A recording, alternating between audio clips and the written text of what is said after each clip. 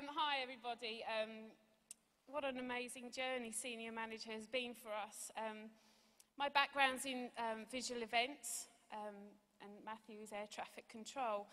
Uh, seven years ago, I was actually made redundant um, when I was five and a half months pregnant, which was pretty rough, pretty rough timing to be fair.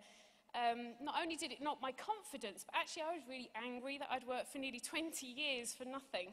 20 years in an industry that's very fickle, and I still came out with nothing apart from a couple of awards for being a good designer.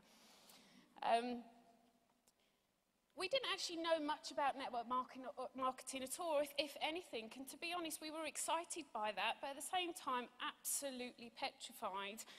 Um, so to pick that phone up when you're feeling really low about yourself anyway, was, um, I found, personally, found very difficult. But I faced my fears. um, my upline, Chris and Alan, really did coach me in that. And um, we've achieved, in fact, actually, we achieved quite quickly. We broke our first manager quite quickly. But then, all unexpected, as life does, it throws things at you. We actually had um, another baby, which wasn't planned, okay? I know. Um, obviously, you know, absolutely over the moon, but I did actually, I was recommended for health reasons really to step back It was a miracle that our first child was born, let alone to have a second one. So uh, we actually took, it was only meant to be a year, wasn't it, Chris? Two and a half years later, actually on my birthday, so two years ago, Chris picked up that phone, thank God, and sung happy birthday to me. And she said, could we meet for a coffee? I didn't realise she'd put something in my coffee. It wasn't just sugar. It was a temptation to come back to really something that I knew would give us flexibility. I knew it would give us what we wanted. Um, but obviously had got caught up in that life of being mum.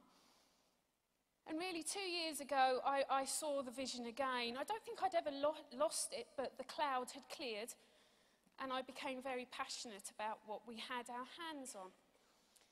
Um, you know, we started off again, we rebuilt our business, and we're working with some superb people.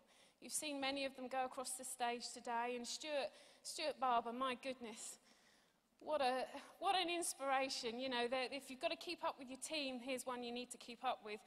Um, you know, his, his drive and focus on what he's wanted to achieve for his family is amazing, and it really has given me a, um, an inspiration. So, you know, congratulations to you and your team. I know you have a fantastic future with Forever. Um, my final thanks go to Chris and Alan. You know, you could have given up on me, but you didn't, so I thank you for that. I must have driven you mad. Oh, yeah. Um, I found it really, yeah, I found it really hard to find a why. I'm a mum, so I just put my family first and everything for my children and for my husband. But now I've found my why. Didn't he agree? we don't agree on most things. When we, when we got married, we didn't agree to agree, or actually to communicate, because we don't communicate. Bless him. Um, you know, Matthew's been a huge support through this. He really has taken on the role of being dad and looking after the children while I'm always here. Many of you have asked me, does he still exist? Yes, he does. Living proof, he is here. Um, but, you know, Chris and Alan's really helped me focus on my why. They've kept me focused on my why. And my why is now very clear to me of what I need to achieve. So I won't let you down, and thank you for your support. It's been unbelievable. Thank you to everybody else that has supported us. Area 140, you know, you're amazing. Cora and her team, Debbie, you know, we do all these journeys together. Thank you so much.